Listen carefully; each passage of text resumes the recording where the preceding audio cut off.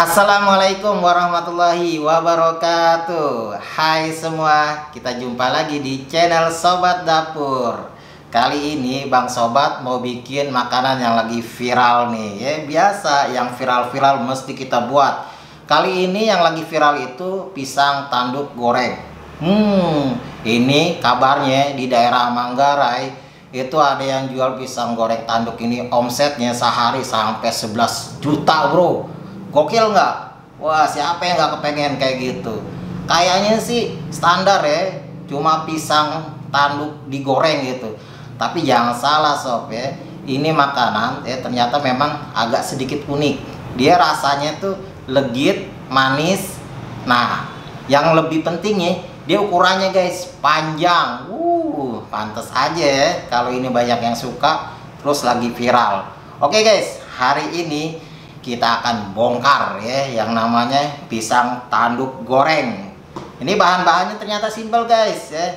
Pastinya kita harus pakai pisang tanduk. Nih guys gara-gara pisang tanduk nih ya bang sobat nyari sampai dua hari nggak upload ya tapi nggak apa-apa deh. Yang penting sekarang udah dapet dan sekarang bisa kita upload ya.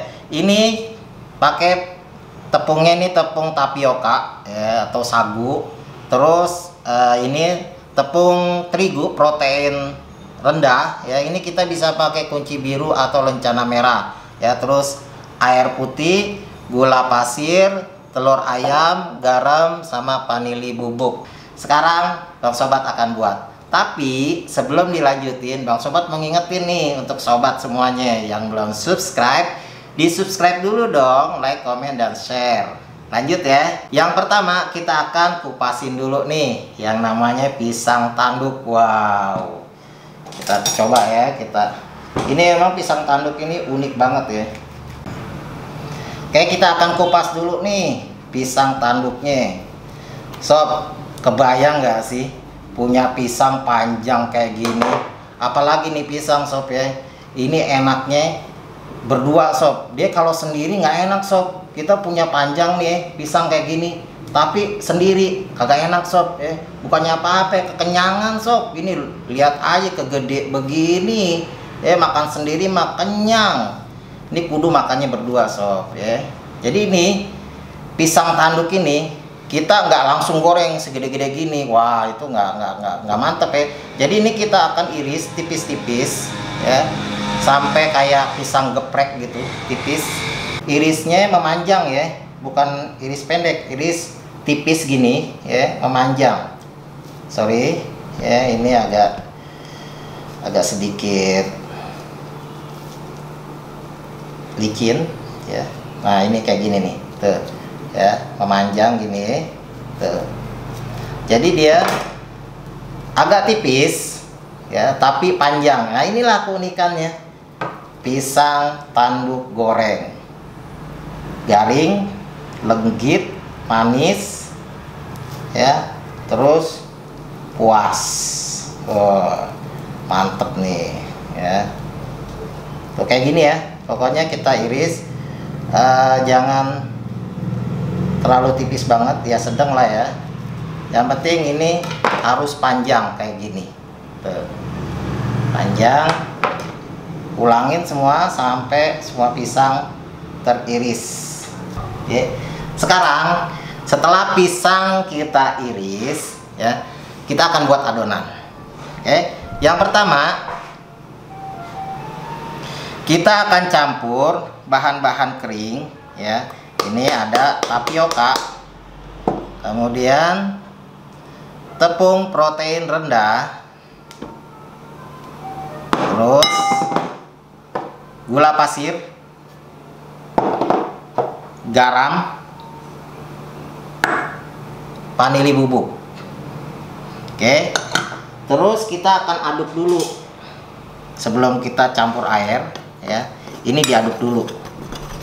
Sampai kecampur rata. Nah, setelah kecampur rata, ya, kita akan masukin air sedikit demi sedikit. Tapi jangan terlalu banyak diaduk ya supaya ini hasilnya garing dan tidak keras. Jadi kita larutin sedikit-sedikit.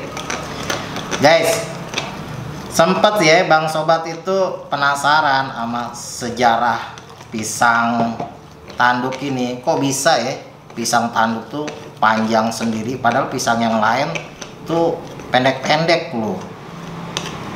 Iseng-iseng bang sobat kemarin googling ya pengen tahu sejarah pisang tanduk ya. ternyata ada sejarahnya guys. Sejarahnya tuh begini ya. Dulu katanya pisang tanduk tuh nggak panjang dulu pendek-pendek. Iya. Ini dilansir dari berita ini dari uh, situs CEN Dong Om. Katanya uh, dulu ada yang namanya Bang Udin. Ya dia tuh uh, petani pisang ya. Dia merasa nggak puas dengan hasil tanamannya itu yang pendek-pendek ya.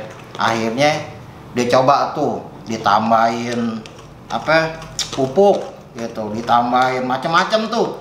Tapi tetap aja hasilnya pendek-pendek gak bisa panjang itu pisang gitu. Terus katanya ya dia nggak kehabisan akal terus dia pergi ke Maerot ngapain coba ya ternyata bener sob pulang dari ini rumah Maerot itu pisangnya panjang-panjang kayak pisang tanduk begini ya ini berita nih dilansir dari ini situs CEN. Tahu tuh bener apa enggak? Tapi menurut Bang Sobat itu kok waktu ya. Nggak percaya Bang Sobat masa sih pisang bisa panjang gara-gara diurut sama Mak Erot. Emang dikira apaan? Ya. Ah dasar tuh.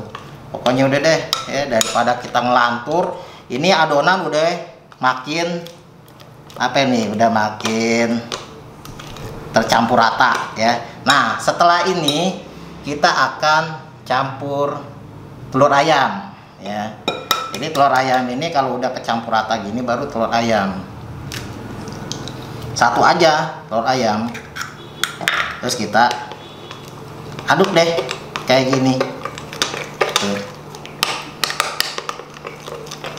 Aduk makin kecampur rata ya. Terus kita encerin. Ya habis ini air yang ada di sini nih. Jadi adonannya dia agak-agak encer ya sob. Agak encer. Emang kalau masalah berita itu kita nggak boleh langsung langsung terima ya. Harus kita selidikin dulu tuh. Hoak apa enggak gitu. Eh ngomong-ngomong hoak itu ada yang bilang hoax ada yang bilang hoak. Sebenarnya yang benar apa sih? Hoax apa hoax sih? Bang sobat bingung tuh. Tapi kalau menurut bang sobat sih enakan hoax ya. Karena kan kalau hoax hoax hoax ya kayak burung gitu. Daripada hoax hoax hoax hoax hoax kayak apaan tuh bubuk ya kayaknya sih enakan hoax ya. Udahlah mendingan kita bikin pisang ya. Nih udah nih. Adonan begini doang ya. Udah kecampur rata. Ini nggak terlalu kental nggak terlalu encer. Nih segini nih. Udah jangan kebanyakan diaduk. Ya sekarang kita mau panasin dulu minyak. Ini minyak kita panasin aja gini nih. Tuh ini sampai suhunya sekitar 140 derajat. Supaya lebih enak nyelupinnya ini bang sobat mau pindahin dulu ke wadah yang lebih lebar ya karena ini kan pisangnya panjang-panjang. Oke ini kita akan masukin dulu ya ke dalam tepung kayak gini.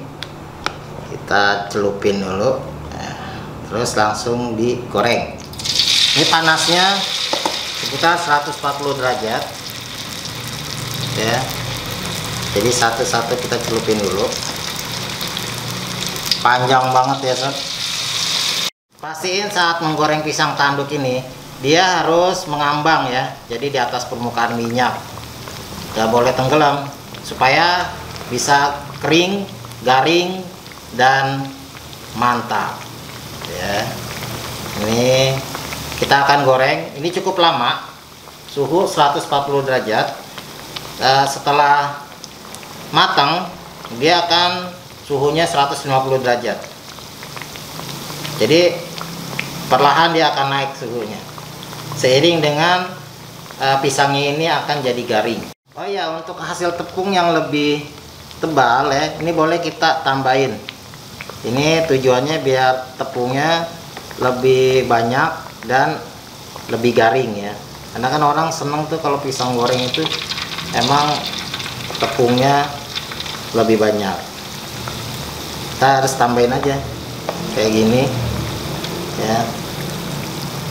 Ya tepungnya lebih banyak. Mantap ini.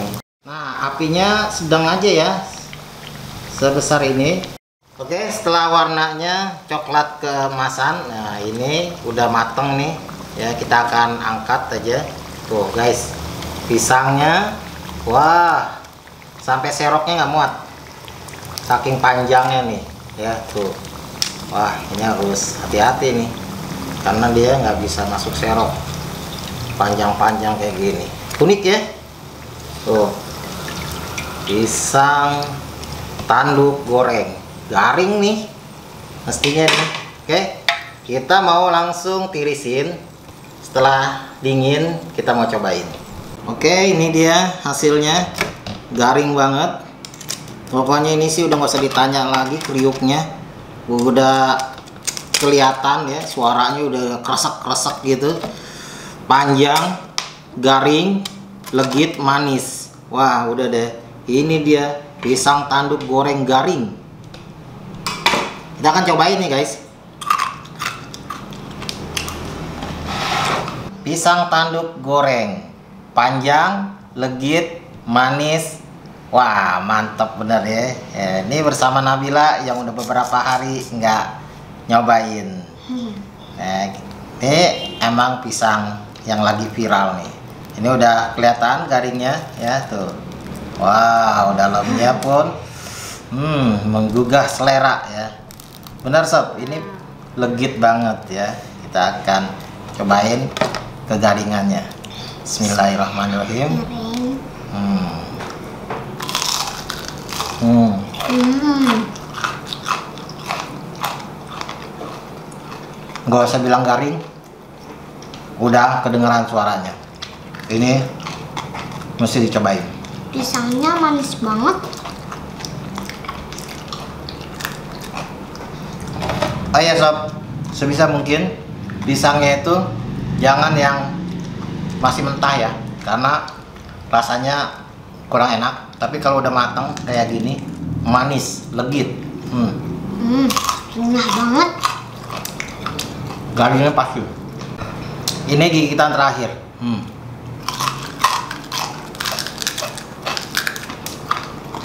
Hmm. nyesel kalau nggak nyobain. Hmm. unik. Garing legit manis sampai di sini videonya thank you for watching Stay next class. Arti kagak?